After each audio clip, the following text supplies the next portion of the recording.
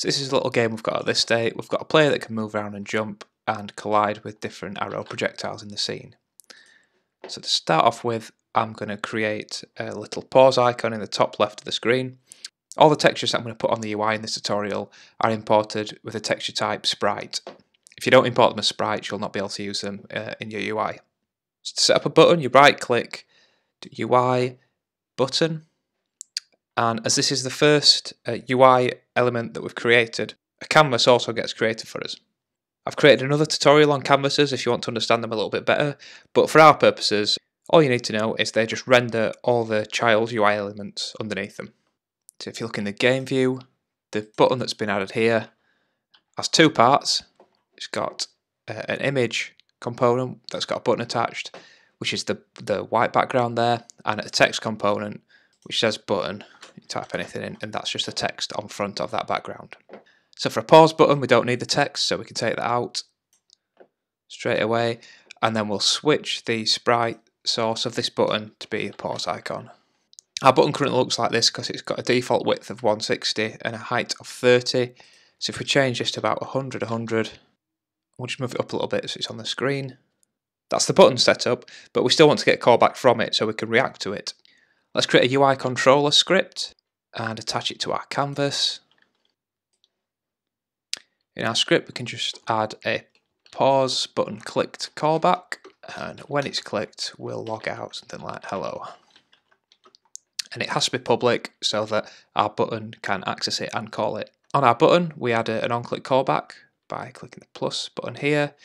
There's then two parts to this. The first is the object which your script resides on. This can be canvas because UI controller is on that object. And then the function on that object. So you got UI controller, pause button clicked. And if you click play, whenever you hit the pause button now, you get a hello callback. In the previous tutorial, we created a little pauser script. Uh, for this one, I've just deleted that and instead we'll do the pausing in the UI controller. We'll do that by setting time.timescale to be zero when pause is clicked. Just do a little bit of cleanup. I'll call this pause button and I'll anchor it to the top left of the screen, giving it little bits of offsets in. Which looks a lot neater. Next, I'll add a resume button by duplicating the pause one, calling it resume button. I'll change the sprite on it. Then just so we can turn the buttons on and off as we need them, I'll add in two public uh, object references, one for pause button, one for the resume button. And when the pause button is clicked, I'll turn the pause button off and the resume button on, and the opposite for when the play button's clicked. Don't forget to update your resume button to point at the new function that we created there, play button clicked. Then just make sure you hook up these public references on your UI controller. And as our initial state is going to be playing, um, we'll want the resume button to be turned off by default. We're only going to want that to show when we're paused. And if you try that out, you can pause, which pauses the game and switches this to the play button. You click play, resumes the game, switches to pause. Text is right up there with buttons as some of the most used UI components.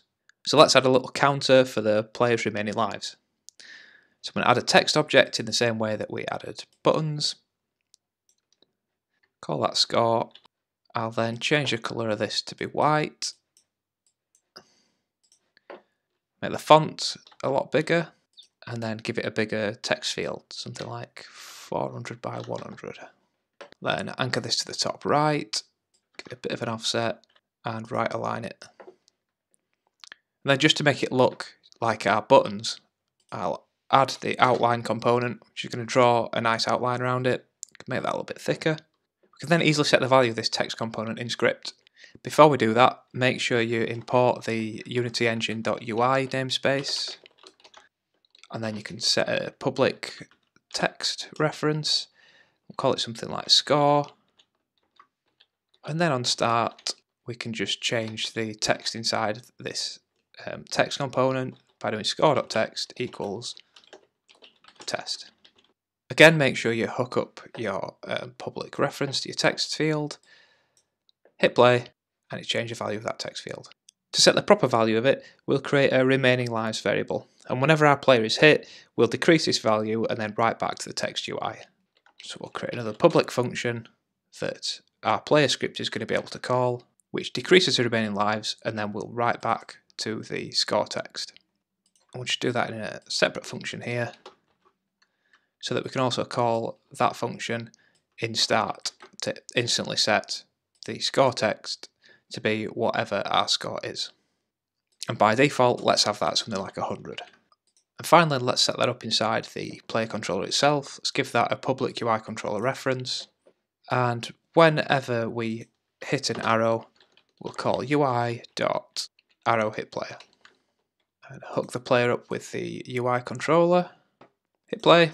You can see our score text in action that decreases as we get hit by different arrows.